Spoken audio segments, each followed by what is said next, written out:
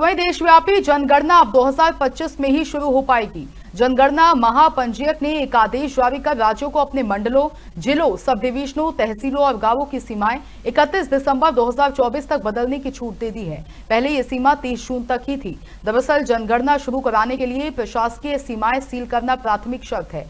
सूत्रों के अनुसार अब एक जनवरी 2025 के बाद कभी भी जनगणना शुरू हो सकेगी। प्रशासनिक सीमाएँ सील करने के आदेश को पिछले दो साल से बढ़ाया जाता रहा है। इसे देखते हुए उम्मीद ज़ाहिर की जा रही थी कि जनगणना सितंबर में शुरू हो पाएगी।